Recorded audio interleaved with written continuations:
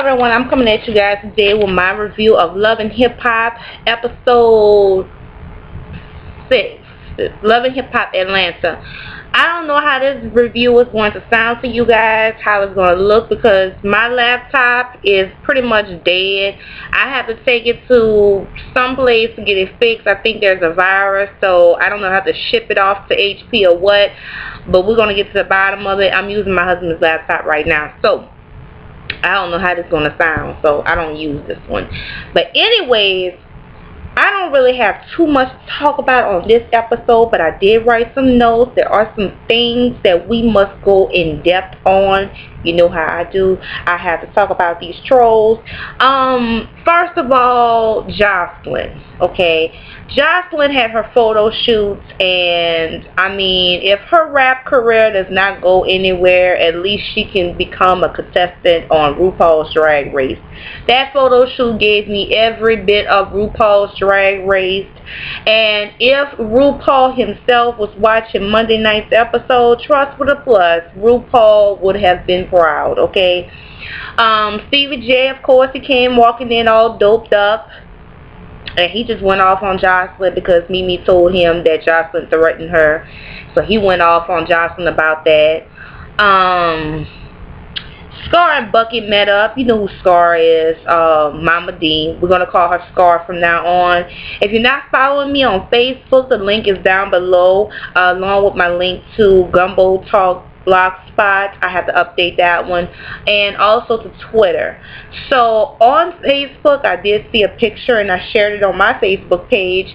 And it's just like a comparison of Stevie J, um, Mama D and Bucky with the Pringles guy, Scar, and I forgot the name of the character for Bucky. But they really do look like those characters. So that's why we're going to call uh, Mama D Scar because she looks like Scar. So Scar and Bucky met up, and when I tell you, upon arrival, Mama D's tongue appeared to be erect when she saw Bucky. So they talked about the whole asthma attack situation, and then Bucky, she's trying to figure out if Erica spent the night over there. So that's all they talked about. Karlie and Mimi, they met up, and they talked about the whole altercation between Karlie and K. Michelle in the previous episode. Karlie's told Mimi that she felt like Mimi let her down, and she didn't know that K. Michelle had some beef with her. And then Mimi was like, well, I thought you knew that, you know, K. Michelle felt some type of way about you. And so after that, Mimi, she told Karlie that Stephen J and Joseline are sleeping together. And in fact, Joseline was pregnant for Stevie J. You know how Mimi do it. She will talk to a mosquito. She will talk to an ant if the ant will stop to listen. She would tell the aunts everything that happened between Stevie J and Joseline. So that's all that happened there. Uh, K. Michelle met up with Karlie they discussed what happened on the previous episode regarding the altercation. Um, it was Karlie's idea to meet up with K. Michelle, so K. Michelle went to meet with her. Uh, what was so funny is that K. Michelle, when she walked into the studio, because that's where uh, Karlie was having the photo shoot, um, she told her, uh, well, she told the receptionist or somebody that she was there to see Lumpy, and you know they just just basically discussed what happened on the previous episode. Um, K. Michelle told uh, Karlie that when she Googled her, she saw Brandon vinegar, and that's basically all that happened right there. Joseline and Queen was talking. Queen is Joseline's best friend. And Queen, when I tell you Queen looked like Miss Cleo, she looked like she studied, practices every type of voodoo under the sun. She looks very scary looking. Um, Joseline says that she's a man eater. She has it tatted on her shoulder. She says she's going to pack up um, Stevie J's things along with his Ciroc and just send it to Mimi's house and tell Mimi, look, this is your man stuff. She don't want to deal with Stevie J anymore. She stated that she spoke to the producers behind his back, but she and she said that she has to do what she got to do to make sure that her career um, goes in the direction that she wants it to go to. She said her success is not determined by Stevie J. So that's what she's doing. Rasheeda had her video premiere at a, a club. Um, some people came up, but it wasn't a lot of people. It wasn't to Rasheeda's expectations. You know, Rasheeda, she's thinking like Beyonce, but she's on an underground budget, okay?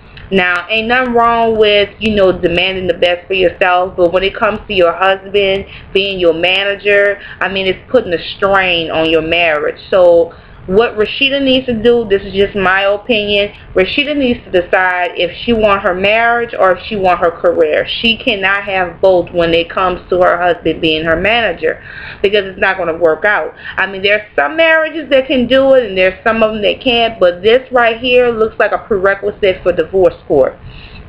So, I don't know if it's just me, but Rasheeda's husband, I just can't fan looking at his neck. His Adam's apple looks like an Adam's cantaloupe.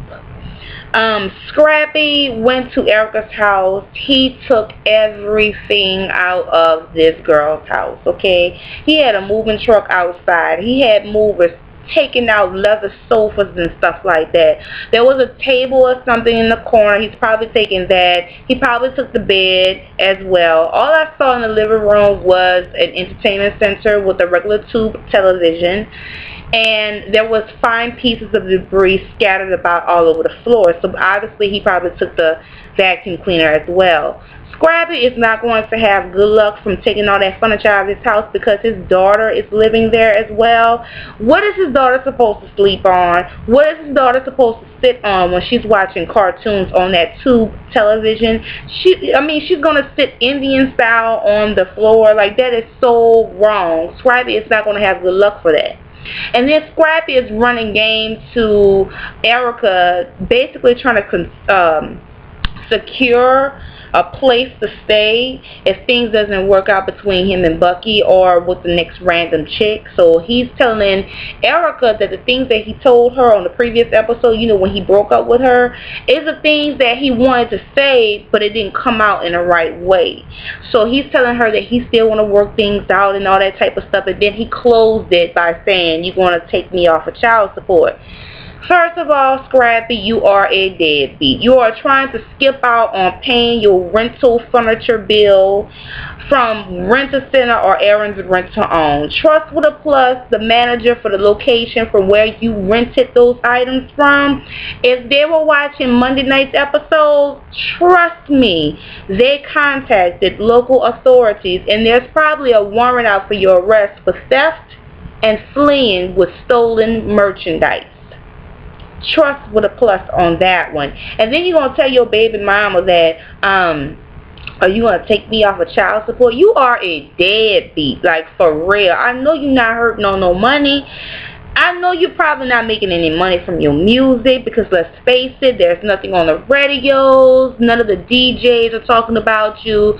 No one's on any media uh, outlets or whatever talking about you. You're not even on 106 & Park. I mean, there was a video a few months back but uh, uh, well, a couple months back or something like that but it's not on a countdown as of right now so I mean I know you are hustling I know you have another way of getting money. You're screwing Bucky. Bucky is walking around with every horse's tail from the Kentucky Derby on top of her head. Trust with a plus. If you have her run a, around a couple of laps, bam, you'll make a couple of thousand in a matter of minutes. So I know you're not hurting for no money. So, I mean, you just a deadbeat. That's just basically it. And then after he left, she goes to the closet and she just packing up his shirts and stuff like that. And then the camera guy, he got a good view of the closet floor. When I tell you that closet floor has fine pieces of debris, weed seeds, and roach eggs all over the floor, Scrappy, you are so wrong on so many levels. Karlie, she went to Benzino's house. And you know Karlie went there with a mission. She's a woman with a mission. Let's just face it. She's a woman with a mission. She's trying to screw for tracks. Okay? That's her mission. She's screwing for tracks. So you know she pulled out her best pair of bikini cut depends diapers for this date. You know she's built like a box. She's built like SpongeBob. She's her butt looks like an upside down Dorito. So she went there with her best pair of bikini cut, Depends diaper. So she went to his house for the first date, if you want to call it a date. And he supposedly cooked this candlelight dinner. And he's running game at her. And then he told her to come sit on his lap because he had some things he wanted to give her. So she sat on his lap. And he showed her well he gave her her gifts. And one of the gifts was a film book that he purchased from amazon.com or perhaps he won a bid on ebay. And then he gave her this uh, box that was gift wrapped and he told her it was something for her. And then she started kissing him. And trust with a plus. Before the night was over she pulled the crotch of her Depends diaper to the side and she let him hit Okay, Rasheeda, she went to seek outside management. She had a meeting with Deb. You know who Deb is. That is Waka Flocka's mother. And she basically broke Rasheeda down. Point blank period. Benzino with Karlie's overactive bladder and pissing Depends diaper on his breast. He met up with crackhead Shorty. We're going to call Stevie J Crackhead Shorty. He came up in there and, and they were talking and Zino was talking about the fact that he liked Karlie and that he's going to meet her mother. So obviously he's going to go where Karlie is residing right now. You know, she's probably neighbors with Greg from the Atlanta Housewives down at Sunny Acres Nursing Home.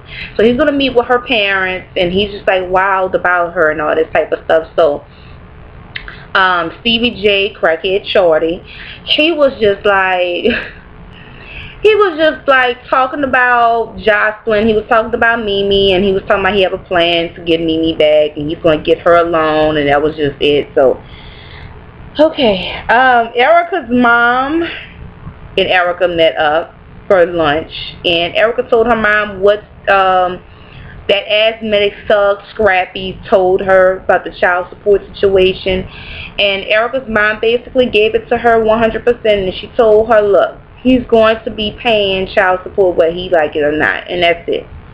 Rasheeda and her husband had a talk about her meeting with Deb and they you know it was very emotional because she went behind his back. She should have talked to him first and she should have told him that she was unhappy with his management and that she wanted to seek other management but she went behind his back. She didn't let him know. And so after she had the meeting she told him. And so it was very emotional.